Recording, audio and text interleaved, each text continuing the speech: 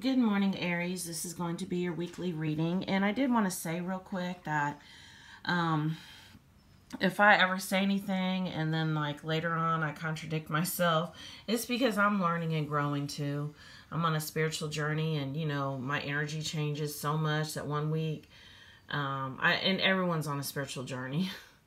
I was aware that I was on a spiritual journey in 2016, and so it's kind of very prevalent in my life.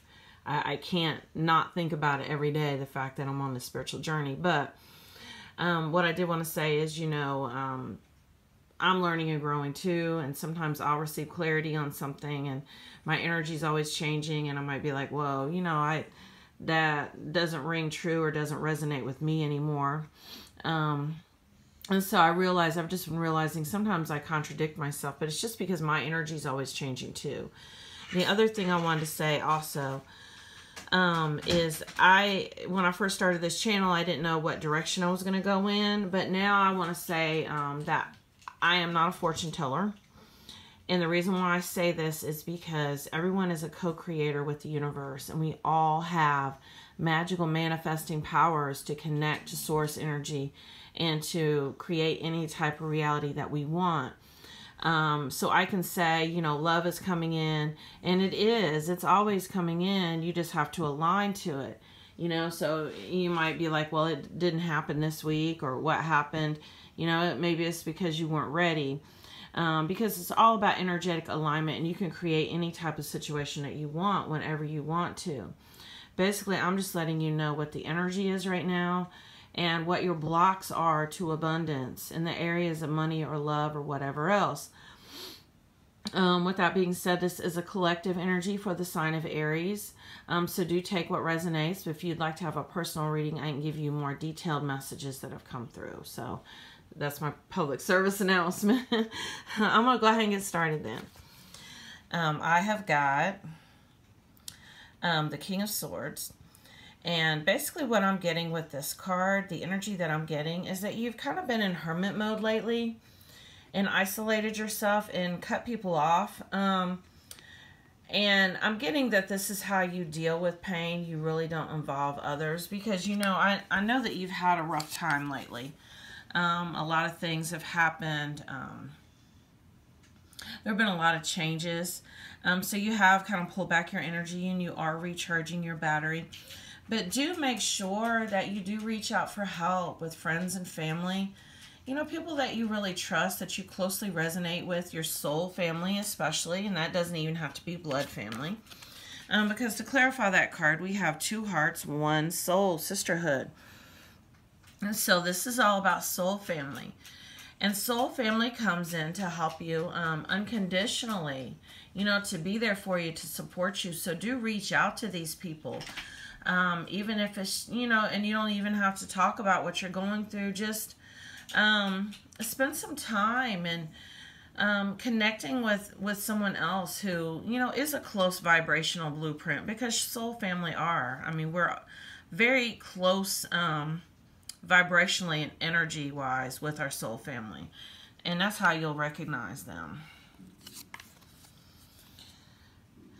Sorry, my stomach's growling. I haven't eaten I just hopped right up and decided, oh no, I need to make my Aries video. And we have the Eight of Wands. And basically what I'm getting with this is this, this is that contemplation card. Really meditating and going within. That's a beautiful energy. Um, I do feel like you've been doing that. Um, and also, really going within and really um, trying to, to it's almost like trying to connect the dots um, of why certain things happened the way that they did and um, what type of impact it had on your life and what were the lessons. You know, really just contemplating and kind of um, looking back on the past. And that's all right to do when you are trying to look for patterns or cycles that you've been in and trying to kind of make sense of things and have closure. But do move on. Don't just stay in this energy. Do make sure that you're focused your attention on your day-to-day -day activities. You are present. Um, and so don't forget to live in the now. that's the message that's coming up because to clarify that card we have the transmission uh, spreading of conditions influence and impact and basically what i'm getting with this card also is that same energy of just kind of looking back on things and being like um, why did this have to happen or or what did i do for this to go wrong that kind of energy but there are no mistakes if you learn from them. So always remember that. And do forgive yourself also. When we forgive others, we forget to forgive ourselves. A lot of times we can be harder on ourselves than we can be on anybody else. Um, that is the message that I got with that card. I should have turned my camera, my um, my flash on. I apologize if it's a little dark. I'll try to put the cards closer. We have the Nine of Wands.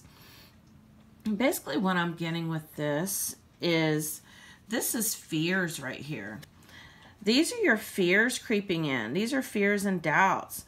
And I learned something yesterday. Actually, two days ago, because I kind of, over the weekend I went through um, what I would consider to be another ego death. A lot of times people say that the ego doesn't die, um, I don't believe that it dies either, so it's really more um, a figure of speech. Basically, what we do is we shed those layers of our ego as we become more aware and more conscious of those cycles and those patterns which you've been doing. And we shed them.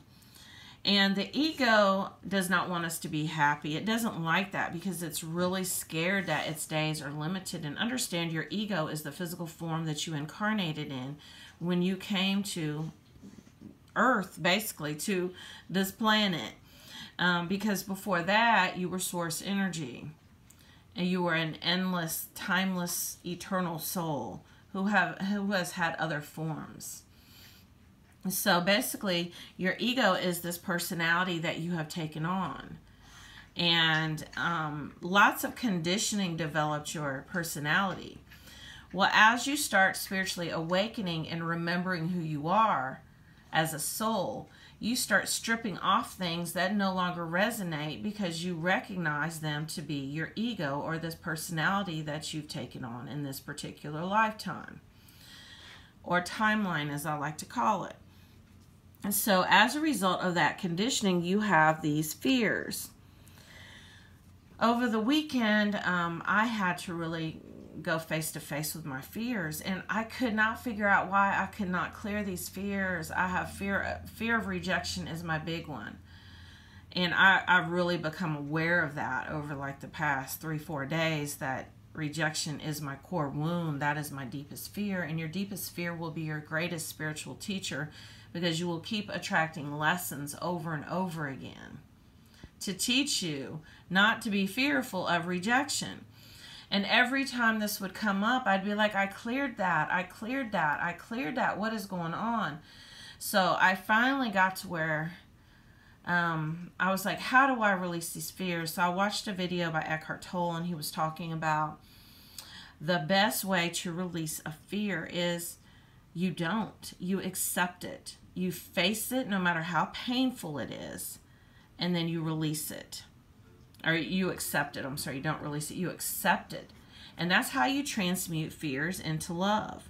You accept that about yourself. And once you stop resisting it and you accept it, it can get out of the way. And I've done that. And it's gotten so much better. And I may never completely get rid of those fears, but they're no longer dominating me or controlling me anymore and I will eventually stop attracting those lessons. This is that shadow. This is that shadow side where those fears are hidden at because your ego does not want you to become aware of them, but they're playing in the background the whole time. So you have to really bring those into the light. We have the Two of Pentacles. And basically what I'm getting with this, the message that I got right away with this um, was you see how these are almost like ideas right here that are tossed about in her head. And she has lots of ideas. But you have to be very careful and very mindful of your thoughts. I'm very mindful now from day to day and monitoring my thoughts because my thoughts tend to get away from me. Before you know it, I'm obsessing or I'm worried about something that has not happened yet. And this is also about manifestation. And we manifest whatever we prepare for. So if you are preparing for something that you don't want to happen, um, by really obsessing about it and thinking about it over and over again, that's exactly what you're going to get. But even then, even when something shitty shows up that you did prepare for and you really didn't want to manifest, but you did, don't feed it energetically. Just kind of ignore it. and you will see um, that it really wasn't as bad as you thought it was. And it really helped you to face that fear. Admit your true feelings to yourself. Be honest with yourself. Only you know what it is that you truly desire.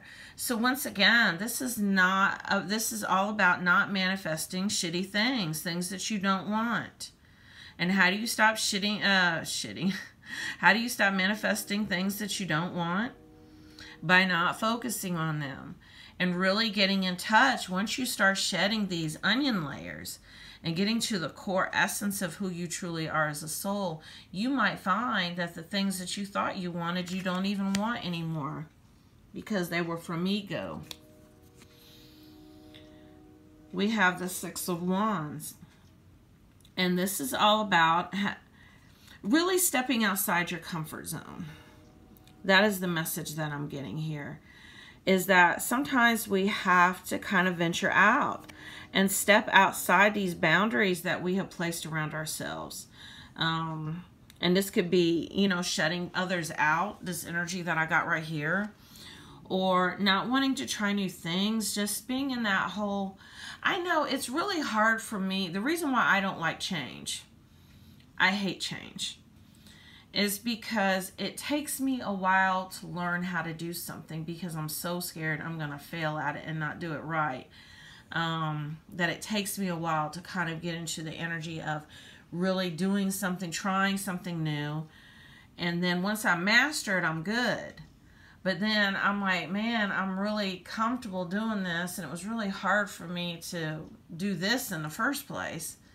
I don't want to change and do something new you know and it freaks me out because i see people who just all the time are just real adventurous and um, they just jump right in and start new jobs and move to new places and kind of freaks me out a little bit because i you know and then at the same time i'm kind of envious i am because and i know that's a fearful energy i know I do still have some remnants of envy that I'm working on right now that are ego based that have to do with not wanting to fail, wanting to be very good at things and be the best at them, but that's another story. Um, so what I was saying with this is this is all about stepping outside your comfort zone and trying new things. And once you align more to your soul, this soul energy here, um, you're not going to want to do the same things you were doing anymore. Spiritual awakening is a long lonely journey sometimes. It is because people look at you like, I know I everything in my life has changed. I've lost my job. Um, I've lost friends. I've lost two jobs actually. And everything, I had lots of tower moments and things came crashing down, but I had to realize that that really wasn't who I was anyway. And those things no longer resonated with me. And I had been being guided to leave those things and people and circumstances alone. And I wouldn't out of fear of change. And when that happens, the universe just comes in and just swoops everything out from underneath you. Just know this, it does happen. Um, so we have the sun card, and the sun is all about positivity. Um, these are positive changes that are coming in um, lots of new things, but you really have to kind of get out of the funk you've been. You've been in this hermit mode of um, maybe you've just been like, you know what, I'm just going to throw myself into my job. That way I don't have to think, I don't have to feel. Um, just kind of numb yourself. Maybe you're numbing yourself with substances, um, with whatever's going on right now. Um, but you are going to have to feel. And we want to feel because this is how we have um, more enriching, deeper experiences in the world. And, you know, when you have the type of superficial, um, I'm just going to go through the motions and become an unemotional robot